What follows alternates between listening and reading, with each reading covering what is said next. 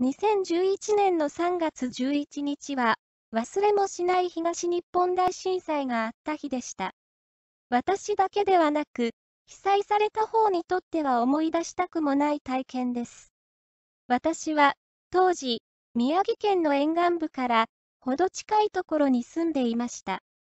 それまで働いていた職場を辞め、転職先も決まっていたため、つなぎとしてアルバイトをしながら生活をしていた時でした。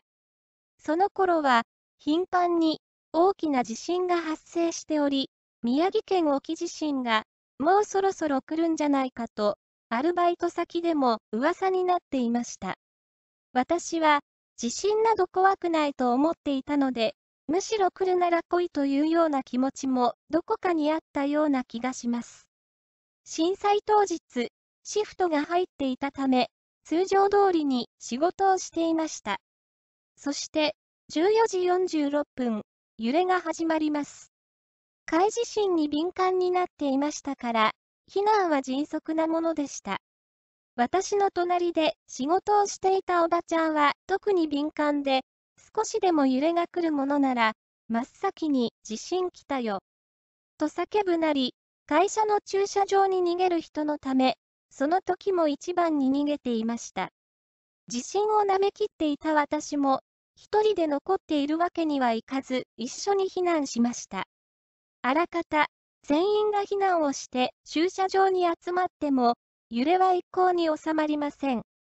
なんか長いねからなんて、のんきに話をしてた矢先、世界が一変します。ドン。ものすごい地鳴りとともに、これまで経験したことのない大きな揺れが来て、悲鳴が上がりました。周り建物は、まるで、皿の上にひっくり返したプリンのように震えてきしみ、その場に立つことも困難となりました。その時は、宮城県沖がついに来たかと感じましたが、すぐに、その考えは恐怖にかき消されました。大きな揺れが全く収まりません。地球が震えている。今にも、地面がすべて崩れ落ち、奈落の底に落ちてしまいそうなほどの揺れ。地面にうずくまっているのに、まるで高層ビルの屋上にいるかのような恐怖感を感じました。早く収まれ。その揺れは、とても長い間続いたような気がしました。これはただごとじゃない。その場にいた誰もがそう感じました。その後はバイトどころではなくなり、上司の起点で即解散となりました。家に妻と1歳ほどの子供を置いてきた私は電話をかけてみるも、やはりつながりません。幸いにも、バイト先と自宅は近かったので、早く帰って無事を確認しようと、会社のロッカーに走りました。仕事場は、人の立つ場もないほどに荒れ果てていました。倒れそうにもなかった重量のある機械も倒れており、もし避難していなかったら、と考えるとぞっとしました。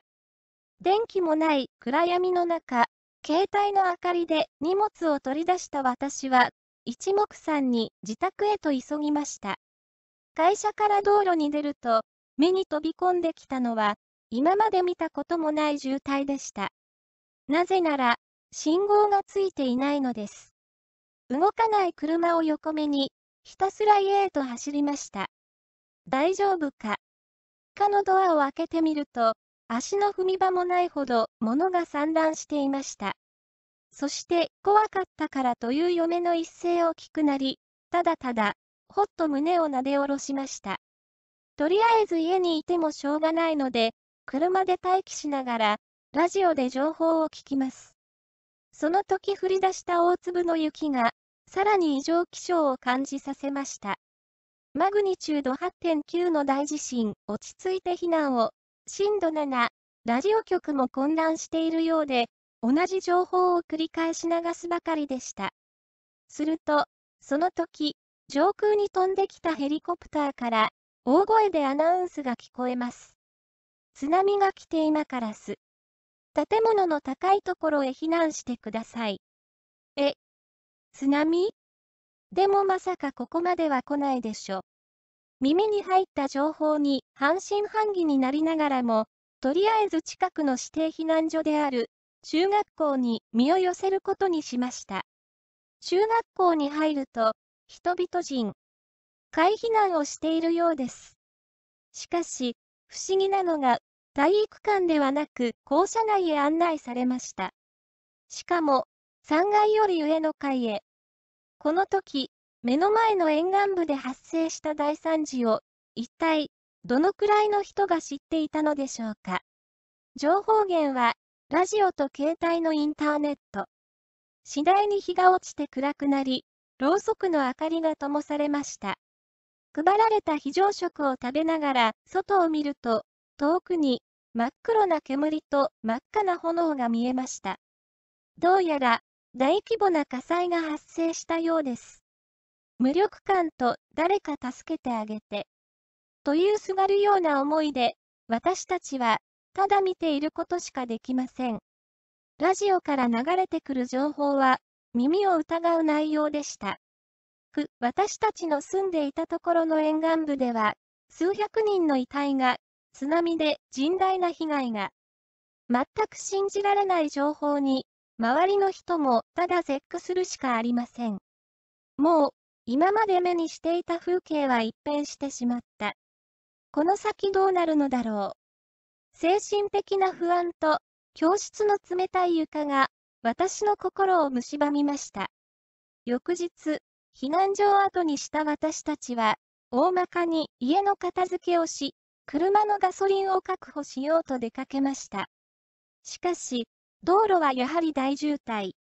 これでは給油するのに1日かかると判断して、家でおとなしくしようと、布団で暖をとっていました。すると、そこへ、私の母が訪ねてきて、うちに来なさい。と言ってくれました。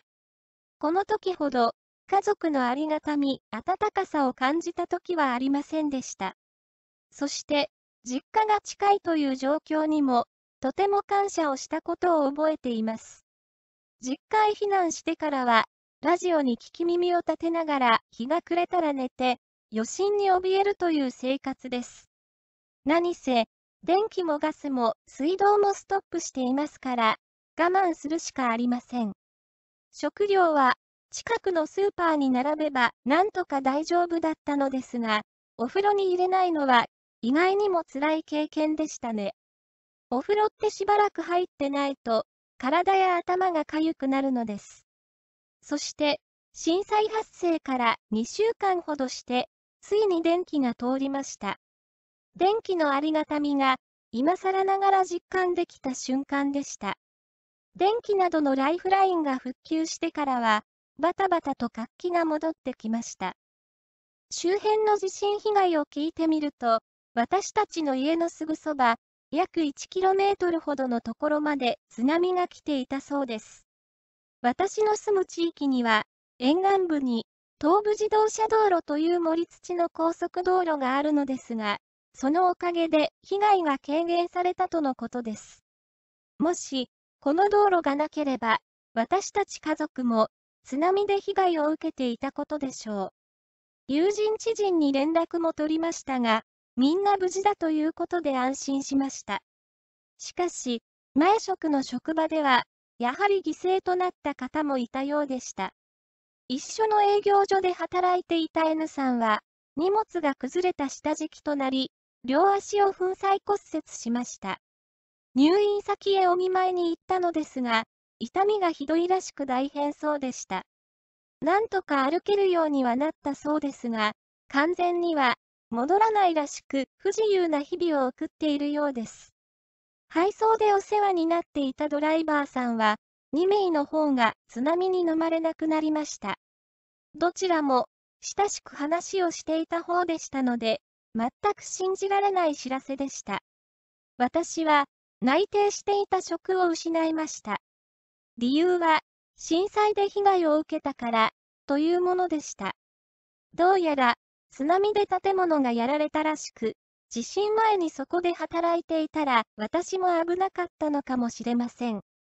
職を失った不安はありましたが、今回は不幸中の幸いと捉えて、バイトを続けながら就職活動を続けました。その後は、仕事に就くこともでき、なんとか安定した生活を送ることができています。しかし、私の周りには、震災によって辛い境遇に置かれてしまった方が多く、心の闇はとても深いように感じます。家を失い、思い出が何も残っていないという方がいます。当時、バイトで一緒に仕事をしていた方の何人かは、親が亡くなって一人になってしまいました。妻と子供二人を津波で亡くしても頑張っていた方は、その後自殺してしまいました。目の前で津波に飲まれる車や人を見てしまい、トラウマになって不眠症になった人もいます。自衛隊にいる友人の話では、同じ自衛隊員が凄惨な津波の被害を目の当たりにして発狂してしまったそうです。